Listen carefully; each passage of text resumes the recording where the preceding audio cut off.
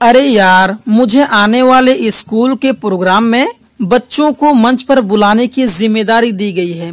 कैसे बोलूँ? मुझे तो पता ही नहीं है कि कैसे बच्चों को स्टेज पर भाषण देने के लिए बुलाते हैं, या फिर कैसे गेस्ट व अतिथि को भाषण के लिए मंच पर बुलाते हैं।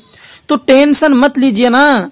आज का वीडियो हमें, हम सिखाएँगे कि बच्चों को या गेस्ट को स्टेज पर भाषण देने के लिए कैसे बुलाते हैं। या फिर स्टेज में जो प्रोग्राम है, कोई भी प्रोग्राम है, उसको शुरू फिर कैसे किया जाता है, वो चीज़ आपको इस वीडियो में सिखाएँगे। तो टेंशन मत लीजिए ना। तो आइए चलते हैं, स्टार्ट करते हैं और अच्छे तरीके से समझते हैं कि कोई भी प्रोग्राम है हो चाहे वो पंद्रह अगस्त का हो या छब्बीस जनवरी का हो या एनुअल फ़ंक्शन हो तो उसमें हम बच्चों को कैसे बुलाएँगे और प्रोग्राम का शुरुआत, यानी प्रोग्राम का जो स्टार्ट है वो हम कैसे करेंगे। आइए, आसान भाषा में सीखते हैं। देखिए, हमको शुरू करना कैसे? यहाँ पर कहना है, शुरू में सभागर में मौजूद सभी सम्मानित अतिथियों को मेरा सलाम, ठीक है? मैं आप सबका अपना स्कूल का नाम यहाँ लिख लीजिएगा। जैसे इंडियन इंग्लिश स्कूल फरकिया में 15 अगस्त महोत्सव में स्वागत करता हूँ। हमारे स्कूल के लिए यह बहुत ही प्रतिष्ठित अवसर है और जो सपना हमने देखा था, वह पूरा हो रहा है। आज यहाँ मैं अपने सामने असाधारण और स्मार्ट छात्रों और उनके माता पिता को देख रहा हूँ, जो इस दिन शहर के कोने कोने से इस प्रोग्राम में शामिल हुए हैं। ठीक है? उसके बाद आपको कहना है कि आज के इस शुभ अवसर पर हमारे इंडियन इंग्लिश स्कूल के छात्र और छात्राओं के टैलेंट और इस स्कूल में किस तरह की पढ़ाई होती है, वह आपके सामने आएगा।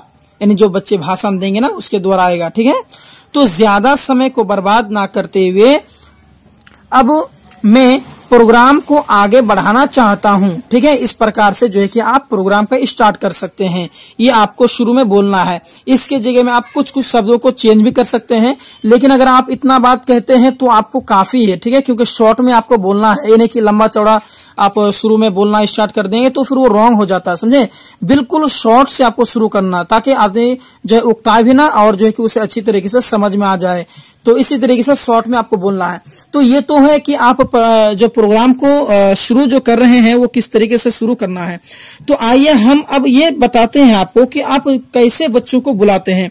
देखिए आजकल का प्रोग्राम में जो है ना हर किसी का जो है किसी का डांसिंग भी प्रोग्राम रहता है एक्शन वगैरह का या फिर जो है कि आपको आ, कुछ म्यूज़िक गाना या फिर स्पीच का भी प्रोग्राम रहता है। तो वो सबको कैसे बुलाने का? तो यहाँ पर मैं पहले रेडी रखा हूँ। इसी तरीके से आप लिख सकते हैं या फिर जो है कि अपने मर्ज़ी से इसमें कम बेसी भी कर सकते हैं। तो इस प्रकार से भी आप लिखिएगा तो भी चलेगा। मानिए किसी का जो है कि सबसे पहले स्वागत करना है। वेलकम डांस है आपके पास में। तो जो डांस है ग्रुप का, वो नाम लिख दीजिए यहाँ पर इस तरीके से। आप ये इसको लिख करके भी वहाँ पर ले जा करके मंच पे रख के भी देख देख के बोल सकते हैं। तो जैसे कोई एक वेलकम सॉन्ग का डांस है, उसको आप इन्वाइट करना चाहते हैं तो यहाँ पर सिंपली कहिए now I give a call to यहाँ पर नाम हो जाएगा। सॉरी दोस्तों, ये कैपिटल में होगा क्योंकि प्रॉपर नाउन है। तो यहाँ पर गुलिस्ताज group to come with their group show of their performance इस प्रकार से जो है कि आप गीत का भी नाम लीजिएगा, स्वागत गीत। इस तरीके से आप लोगों को बुलाना बुला सकते हैं कि मैं अभी जो है गुलस्ता, गुलिस्ता के ग्रुप को इनवाइट करना चाहता हूँ, उनके ग्रुप के साथ में और दिखाएँ उनके परफॉर्मेंस की कैसा है। इस प्रकार से जो है कि आप इसका बुला सकते हैं इंग्लिश में बुला सकते हैं। अगर अगर आप इंग्लिश में बुलाते हैं ना तो क्या होता है कि वो चीज़ आपको ज़्यादा अच्छा लगता है। मतलब ज़्यादा अच्छा लगता है। अगर हिंदी में अगर बुलाते हैं तो उतना अच्छा नहीं है, नहीं होता है, समझे? तो देखिए अभी मानिए कि फिर उसके बाद डांसिंग डांस ग्रुप के बाद में अगर आप किसी को स्पीच के लिए बुलाते हैं तो वहाँ पर कह, कह दीजिएगा now I request to Mujahid M D Tahir जो जो बच्चे हैं उसका नाम लीजिएगा उसका कहिएगा for speech about the farmer please come इस प्रकार से बुला सकते हैं।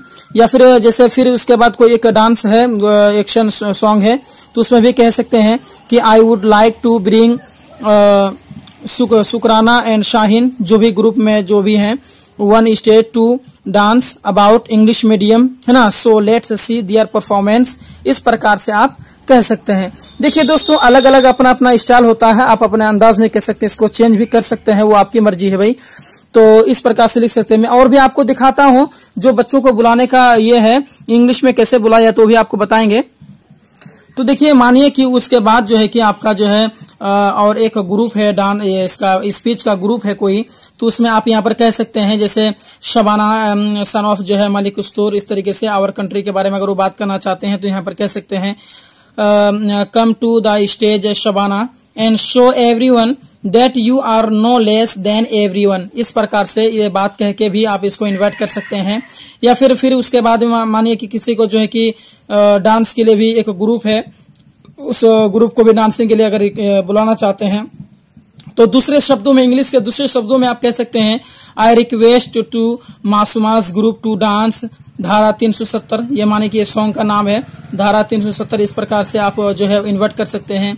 या फिर उसके बाद में फिर किसी को अगर आप स्पीच के लिए अगर बोलना चाहते हैं, बुलाना चाहते हैं तो यहाँ कह सकते हैं कि ये नाम ले लीजिएगा, जो भी लड़के या लड़कियाँ आपके पास में। Shahista is also raring to speak in front of you so please welcome Shahista Parveen. इस प्रकार से जो कि उनका नाम लेकर के आप उन्हें बुला सकते हैं। उसके बाद मानिए कि कोई एक ड्रामा है आपके पास में। जैसे मैंने यहाँ पर लिखा है, सास बहू का ड्रामा। ये सिर्फ़ मैंने आप लोगों को दिखाने के लिए और आप लोगों को बताने के लिए लिखा है ताकि आप समझ पाए कि किस तरीके से जो है कि इन्वाइट किया जाता है मंच पर। चाहे स्टूडेंट हो, चाहे गेस्ट हो, आप इसकी जगह में आप चेंज करके गेस्ट के लिए भी आप वो शब्द इस्तेमाल कर सकते हैं। तो मानिए कि कोई सास बहू का कोई एक ड्रामा है जो आप दिखाना चाहते हैं तो यहाँ पर सिंपली कहिए कि आजकल सास बहू का रिश्ता बहुत खतरनाक हो गया है और हमेशा तानाशाही होते रहती है।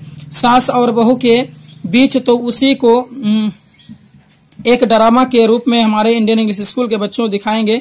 सो लेस्ट सी इस प्रकार से जो है आप उन्हें बुला सकते हैं। मानिए कि उसके बाद में कोई एक और स्पीच है आपके पास में। तो हम स्क्रॉल कर लेता हूँ। जी, इस प्रकार से। मानिए कि कोई उसके बाद में कोई एक है जो स्पीच जो है स्पीच कहना चाहती हैं। तो उसका नाम लीजिए सिंपल ऐसे now after this Hajra Parveen is a little girl of class four wants to tell you something about my village then Hajra Parveen please come on the stage इस प्रकार से उसका नाम लेके भी आप बुला सकते हैं। अलग अलग स्टाइल है दोस्तों। इस ये नहीं कि ऐसा ही बोलना है, आप इसको चेंज भी कर सकते हैं, अपनी मर्ज़ी से कुछ बढ़ा भी सकते हैं, घटा भी सकते हैं। सिर्फ़ मैं आप लोगों को इशारा कर रहा हूँ कि किस प्रकार से बोला जाता है, ठीक है? तेरी झोल पिया माने कि कोई एक सॉन्ग है, तेरी झोल पिया ना सह पाऊँगे, ऐसा करके जो सॉन्ग आता है, माने कि दो लड़का है, उसमें डांस कर रहे होंगे तो उसको कैसे बुलाना है? तो कहना है कि उबैद जो किसी एक लड़के का नाम ले लेना है, जो ग्रुप का जो मेन रहेगा, उबैद से group is coming now in front of you with a very good dance तेरी झोल पिया, इस प्रकार से। So sit by the heart यानी दिल थाम के बैठिए, इसका मीनिंग होता है। तो इस प्रकार से आप इस बुला, इसको शब्द का प्रयोग करके जो है आप इसको बुला सकते हैं। फिर कोई अगर शायरी भी आप कहना चाहते हैं तो शायरी भी कह सकते हैं, जैसे कोई लगाव, कोई नफरत, कोई मोहब्बत पे मरता है, ये ग्रुप है उन दीवानों का, या हर बंदा हिंदुस्तान पे मरता है। देखिए सबसे बेस्ट नियम होता है कि मैं यहाँ पर शायरी नहीं लिखा हूँ आप उसको ऐड कर लीजिएगा। नेट में बहुत ज़्यादा आपको हर जगह आपको मिलेगा वो चीज़। डाउनलोडिंग करके आप उसमें शायरी भी इस्तेमाल कर जैसे किसी को भी आपको बुलाना है तो सिंपली उसमें थोड़ा सा शायरी का भी प्रयोग कर दीजिएगा, थोड़ा बोल दीजिएगा तो थोड़ा अच्छा लगेगा। तो आइए और भी देख लेते हैं। उसके बाद मानिए कि जो है, कोई एक ग्रुप है, आपके पास में जो प्रिंसिपल के बारे में कुछ कहना चाहते हैं तो उस प्रकार से आप उसको इन्वाइट कर सकते हैं कि I invite Mehraj Alam from class third to speak about हमारे प्राचार्य। इस प्रकार से नहीं हमारे आवर प्रिंसिपल यहाँ पर लिख सकते हैं। इस प्रकार से जो है कि आप उन्हें इनवाइट कर सकते हैं। या फिर कोई एक और डांस है बच्चे का, जैसे मुझे दुश्मन के बच्चों को, इस प्रकार से कोई बच्चे हैं जो डांस करना चाहते हैं, इस इस पर जो है इस म्यूज़िक पर तो आप उन्हें ऐसे कहिए कि now I request to शाहिदास group with a dance मुझे दुश्मन के बच्चों को so please come and show us your performance ठीक है? इस प्रकार से आप इन्वाइट कर सकते हैं।